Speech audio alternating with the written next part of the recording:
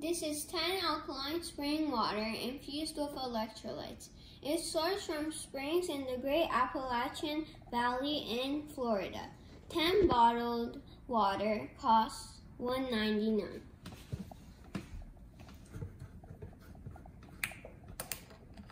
Let's pour some water in.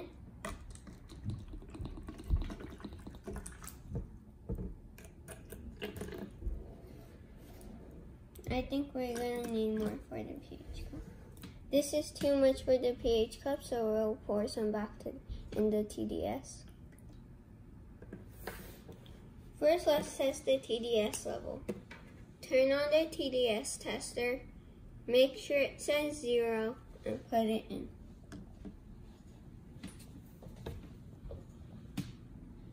One hundred thirty-two. That is carbon filtered mountain spring or aquifers.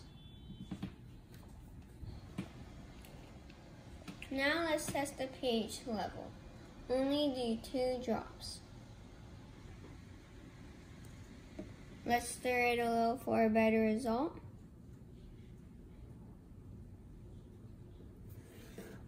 I give this a 10. This is alkaline water.